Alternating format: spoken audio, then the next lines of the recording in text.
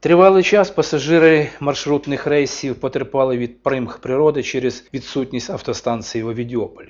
Точніше, вона була і зараз ще є цей примітивний автобус, який виконував функцію автостанції.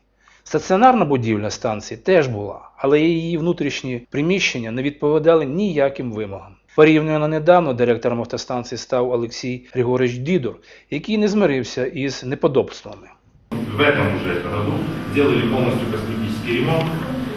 Зал ожидания сделали туалет, сделали диспетчерскую, комнату отдыха водителей сделали, привели все в порядок, все работает. Поставили камеры видеонаблюдения, чтобы уже из-за порядка можно было смотреть, чтобы все было как надо.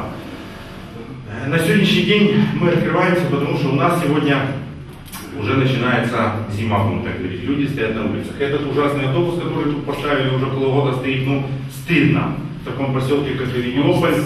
Он еще стоит, да, вот тот пазик стоит, но я думаю, они его все-таки заберут. Авидиополь Автотранс, учитывая, что мы сегодня уже открываем двери для людей, потому что впереди зима, холодно.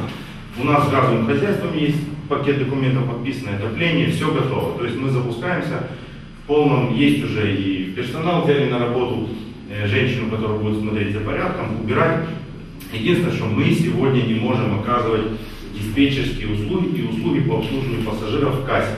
Потому что у нас сегодня нет договоров э, с перевозчиком. Э, Перевозчик у нас Видеополь Автотранс. Пока на сегодняшний день они не хотят с нами заключать договор, их устраивает та ситуация, которая есть. У них продажа билетов прямо в автобусе и вот тот зал ожидания в виде старого убитого базика, который они поставили.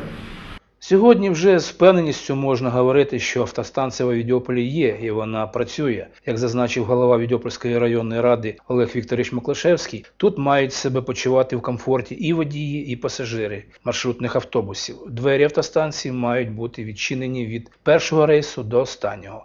В найближчій перспективі тут запрацюють інтернет, а пасажири зможуть переглядати телепередачі.